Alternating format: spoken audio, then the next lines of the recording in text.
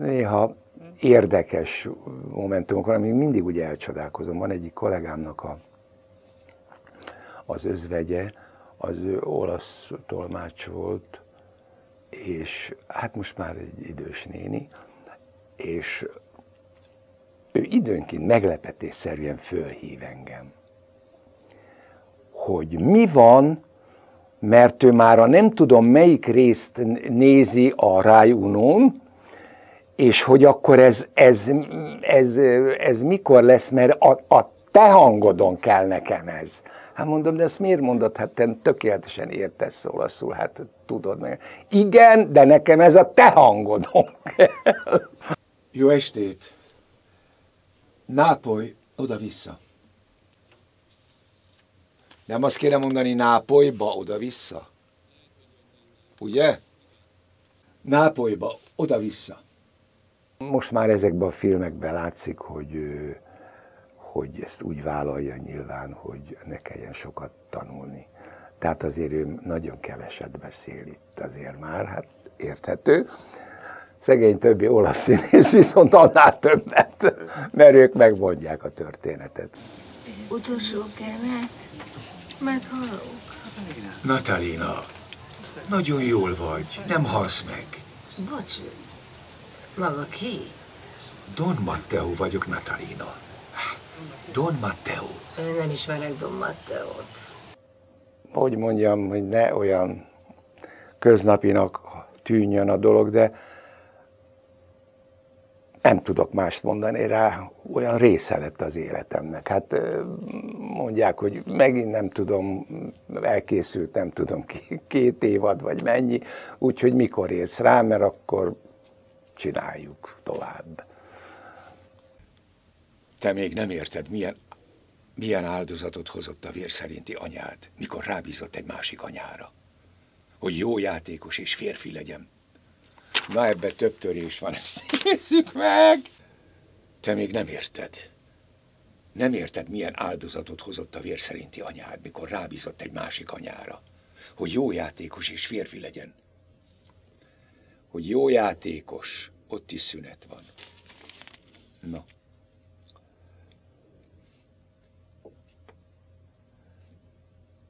Te még nem érted. Nem érted, milyen áldozatot hozott a vér szerinti anyád, mikor rábízott egy másik anyára. Hogy jó játékos, és férfi legyen belőled.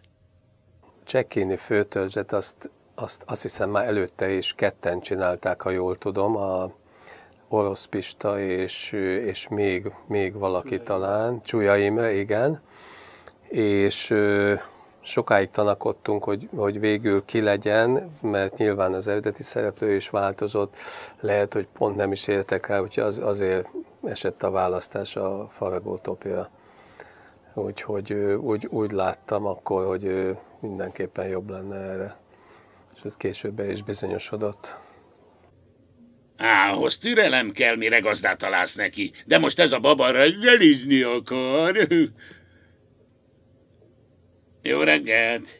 Hát én szerintem a legizgalmasabb figura ebben a sorozatban, és nagyon látszik rajta, hogy rá volt bízva a dolog, tehát annyira szabadon kezeli a, az egész anyagot, tehát egy csomó improvizáció, belenyökök, belehűmög, ettől nagyon nehéz a, a feladat, de nagyon élvezetes, mert egy jó értelemben vett fantasztikus ripacs színész játsza, aki, aki látszik, hogy hogy hömpölyög a szerepben és nagyon élvezi. Nem egyszerű, mert ugye egyszerre sokat veszünk föl, de, de nagyon élvezetes a munka, mert nagyon jó humora van. Mit csinálsz itt? Nem akarsz aludni, igaz? Na, gyere. Gyere, gyere, kutya. De hogy hívnak téged, ha? Hogy lehet hívni egy kutyát? Na, mi lehet?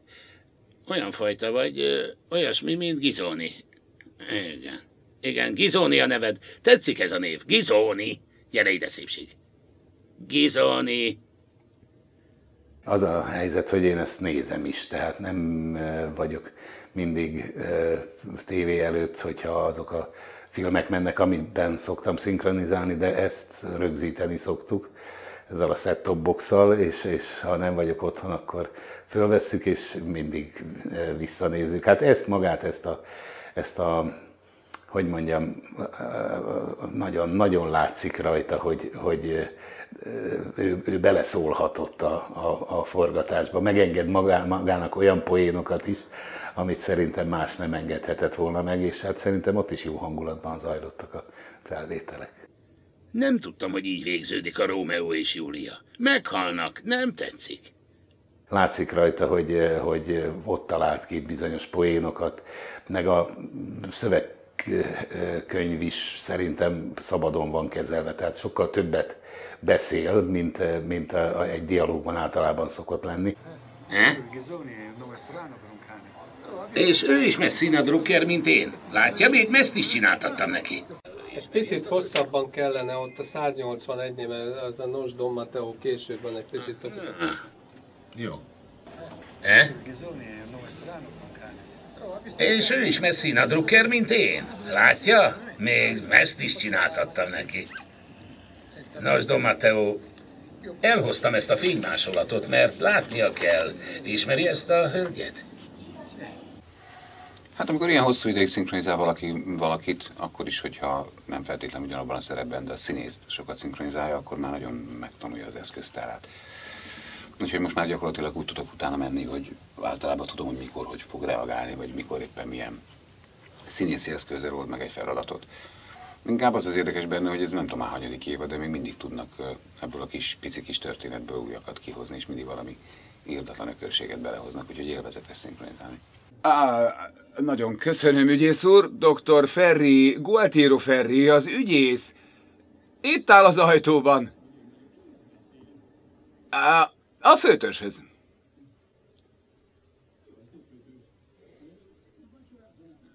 Ez jó ötlet, mindjárt jövök. Nem, nem, nem, nem, nem. Majd én hozom a poharakat, maga a vendég. Egy pillanat, jó? Gizoni, foglalkozz vele. Hív Bárbát és menjetek Castellani úrral, hát ha találtok valami nyomot. Bocs, ne arra, hogy Castellani vagy Castellani, ez jó. Akkor úgy mondtam, de nem volt rövid? Szerintem nagyon jó van kitalálva, nagyon profin van kitalálva. Tehát nagyon jó ez, hogy van egy bolondos főtörzsőmester, van egy ilyen szép fiú, de komoly csendőrszázados, van az okos, jóságos pap, és nagyon az illetős jó pofa, mert rendkívül irritáló számomra ez az ügyész, aki benne van, valahogy nagyon nem szimpatikus nekem, de ez is nyilván az van, hogy kell, hogy és mindig gyönyörű nők vannak benne. Gizoni, foglalkozz vele. Hív Bárbát és menjetek Castellani úrral. Hát, ha találtok valami nyomot. Uh, bocsánat, csak még a sapkám szabad? Utána békén hagylak. Jó munkát, azt én mondom. Na jó, akkor én. Oké, okay, mehet. Sapkám? Csendős sapka ez? Nem tudom, nem tudok jót rámondani, mert nem, ugye nem, nem kalap, sapka. Nincs erre kifejezésünk erre, ez tányér sapka végül is. Uh-huh. Minden rendben? Jól érzi magát? Ha meg lesz a toxikológiai vizsgálat eredménye, talán az is kiderül, hogy került a gyógyszer a kislány szervezetébe. Hát először is ez egy nagyon jó karakter, szeretem csinálni. Azt szoktam mondani, hogy, hogy vannak olyan figurák, amik annyira pofán vágnak, na most ez egy ilyen figura. Én is ilyen vagyok, kicsit olaszos, néha felpörgök, de néha néha nagyon érzelmes vagyok, és Natalina ilyen, imádom, szeretem, ahogy zsörtölődik, mert hát mondom, én is ilyen vagyok, úgyhogy tényleg egyik kedvenc figurám, ha lehet így mondani, így a, a nagy sorozat szerepek közül, biztosan megemlíteném, az első ötben benne lenne. Köszönöm. Majd meglátjuk. Ki rakta be ide a tányérokat, he? És miért nincs itt egy szivast sem? Szivacs sem, szivacs, szivacs sem. Itt már visszatér a régen Igen, hát a részre. Mindenkivel nézzék, csak nézzék, csak minden kaszos, minden kaszos. Elejétől, igen. Hogy örülnek neki? Elejétől.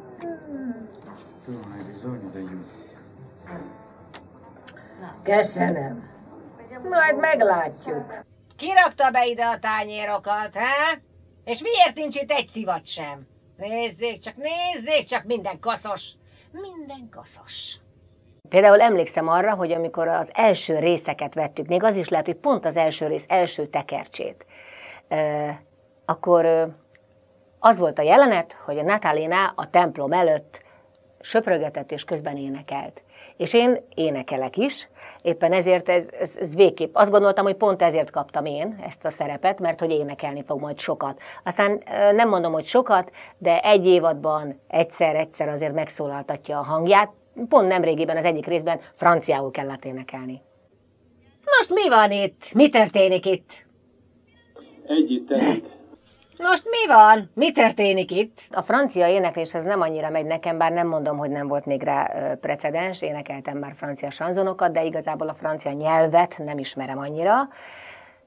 Kicsit nehézkes volt, bevallom őszintén, hogy fonetikusan leírtuk. Volt olyan szó, amit persze ismertünk, de amit nem fonetikusan leírtuk, és akkor így második, harmadik alkalommal sikerült is fölvenni. Néha-néha jól esik egy kis kikapcsolódás. Ugyanakkor elnézést kérek, hogy hazudtam egy kicsit. Ugye megbocsát? Uh, igen, mert nem mondtam a hétköznapi életből. Ne arra... Annyi, hogy a hétköznapokból, az aha, aha, igen, igen, igen, a hétköznapokból. Néha-néha jó esik egy kis kikapcsolódás a hétköznapokból. Hát ez hosszú. Igen, hát nagyon, azért hagytam ki. A... Uh, hogy hogy is mondjam, néha jól esik egy kis kikapcsolódás, csak akkor ezt a néha-néhát kihagyjuk, mert oda tudod, azt mondani. Megpróbáljuk úgy? De akkor korábbról kell egy picit az és éntől. A mennyasszonyával utána. Jó. És én, hogy is mondjam, néha jól esik egy kis kikapcsolódása a hétköznapokból. Ah, így meg már belefér a hétköznapi élet is. És én, eh, hogy is mondjam, néha jól esik egy kis kikapcsolódás a hétköznapi életből. Ugyanakkor elnézést kérek, hogy hazudtam egy kicsit ugye megbocsát. Ugye mi csak hanggal dolgozunk, de azért igyekez, igyekszünk a, a, a testmozgását, a, a szemének a villanását meg, megfigyelni, hogy, hogy mi magunk is tudjuk ő, őt játszani. D11. Te jó ég, ez is hibás. Egyet se találtam el. Don Matteo, mindent elhibáztam, mindent. Mi színészek szeretünk ö, figurákat ö, alkotni hogy, hogy, hogy nem csak egy ilyen egyszerű, sima karakter, hanem, hanem van neki valami kis furcsa stikje, valami, valami érdekesség benne. És a, a Pippo az ilyen. Ó, oh, nem ismersz meg? Pippo vagyok. Nem ismersz meg? Pippo vagyok. Jó. Oh, nem ismer?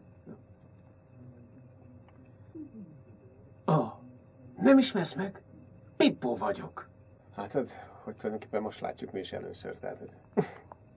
Valakire szükségünk lesz a konyhában. Laura, te mit gondolsz? Előbb a, a 299-et?